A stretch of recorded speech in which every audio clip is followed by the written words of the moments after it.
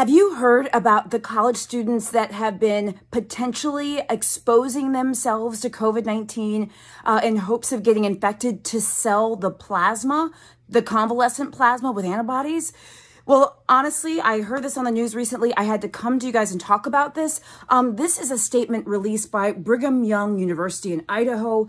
BYU Idaho says in a statement online that it is deeply troubled by the accounts of individuals who have intentionally exposed themselves or others to COVID 19 with the hopes of getting the disease and being paid for plasma that contains COVID 19 antibodies.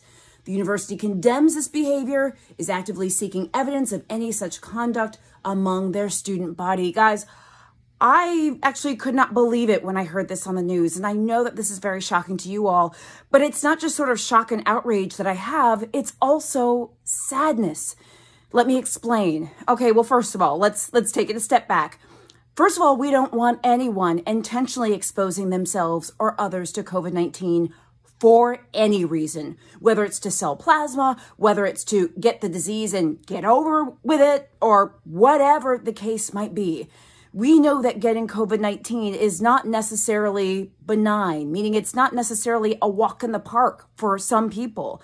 Yes, many and probably most people do fine uh, and, and recover from COVID 19, but many people have long lasting symptoms. Some people end up hospitalized, and others end up dying from this disease. And it's not just the elderly or those with underlying conditions. We know this can happen to young people too. So we don't want anyone being intentionally exposed to COVID and exposing themselves or other people for any reason. Okay, let's be clear about that.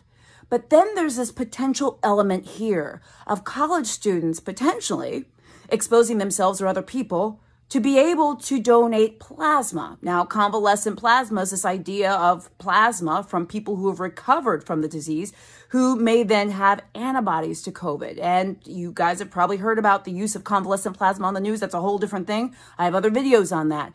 But the idea of donating plasma, you might say, well, why would they do that?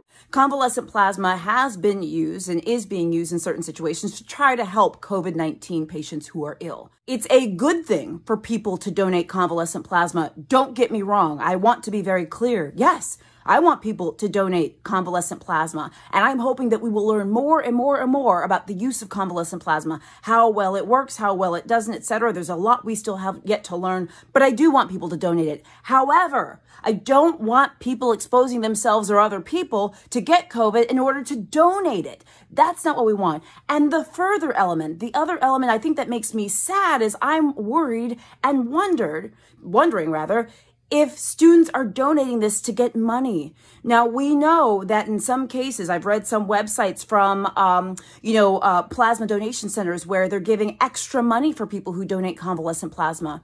I have no issues with that at all. But I'm wondering if some of these students are doing it because they have financial issues. They have financial difficulties.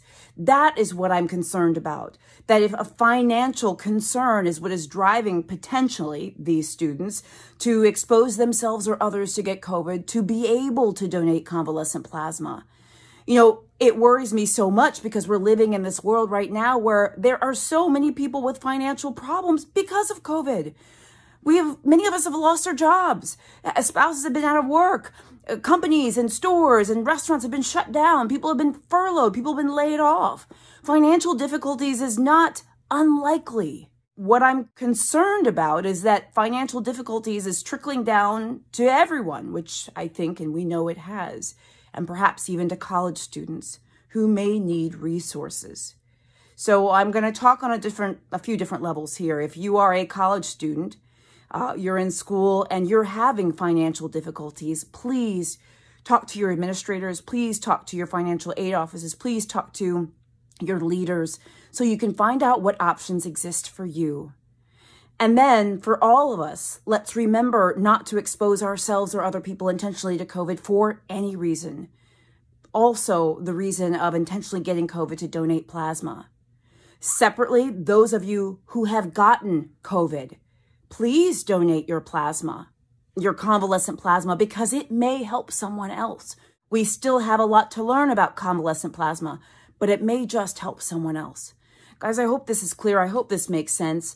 College students and others, please do not get yourselves sick or other people. College students, if you're having trouble financially, please talk to those uh, who are leaders at your school. We are standing with you. We are praying for you just as we're praying for everyone. Thank you guys for watching this video. If you have not subscribed to my channel, I so invite you to do so. Uh, and please share this video with others. I will be back tomorrow with more health news. I'm Dr. Jen Caudle.